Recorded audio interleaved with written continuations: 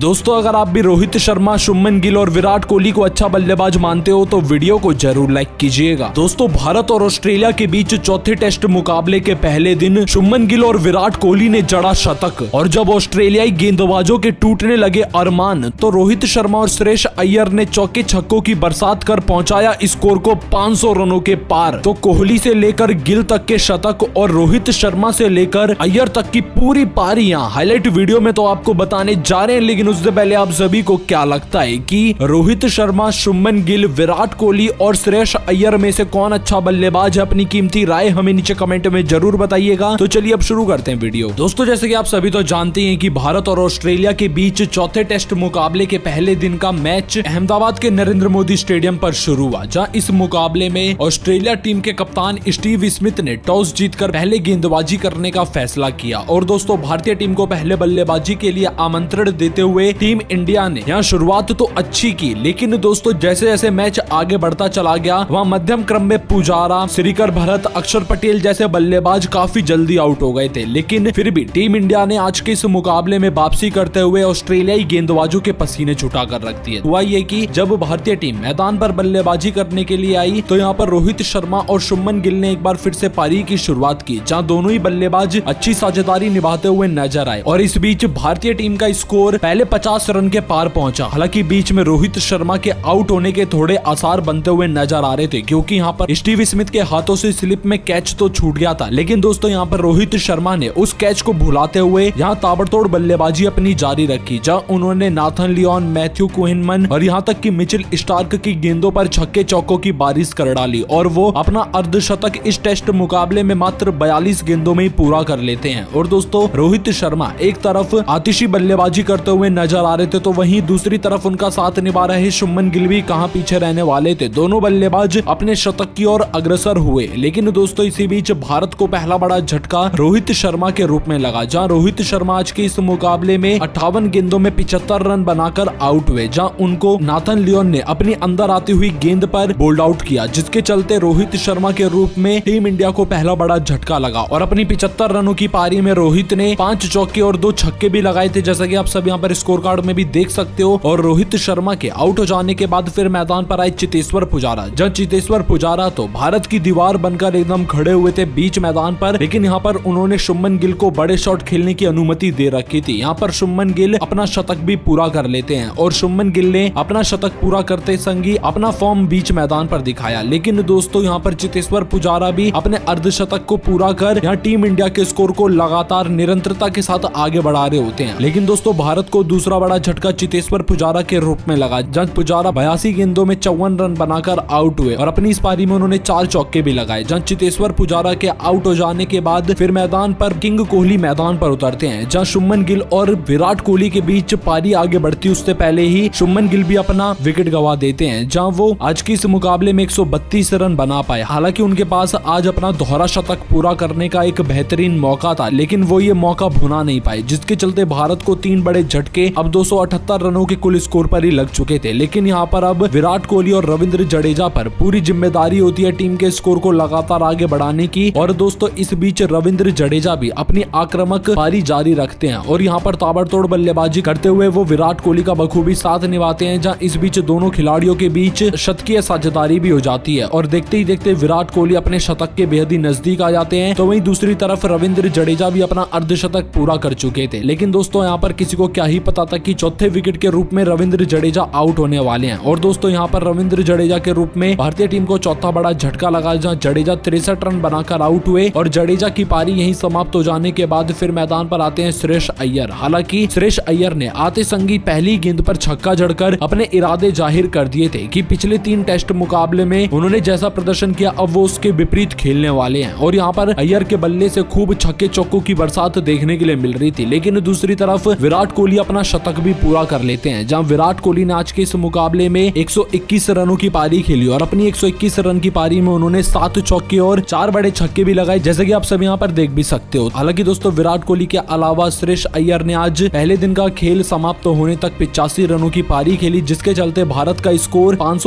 रनों पर पहुँच पाया। हालाँकि अब टीम इंडिया से यही उम्मीद होगी कि दूसरे दिन जब भारत की शुरुआत हो बल्लेबाजी से तो यहाँ टीम इंडिया ज़रूर ताबड़तोड़ बल्लेबाजी का यही रुख अपनाए और स्कोर को लगभग लगभग 600 से 700 के में लेकर जाए। बाकी हम आपको बता दें कि भारत और ऑस्ट्रेलिया के बीच खेले गए चौथे टेस्ट मुकाबले से ठीक पहले खेला गया ये इंटर स्क्वाड और अभ्यास सत्र के पहले दिन का मुकाबला था, जिसमें भारतीय टीम ने शानदार बल्लेबाजी की। बाकी अब आप सभी की क्या राय है? टीम इंडिया की बल्लेबाजी के बारे में और आप भारत की बल्लेबाजी को दस में से कितने नंबर दोगे? अपनी कीमती राय हमें नीचे कमेंट बॉक्स में कमेंट करके ज़रूर बताइएगा।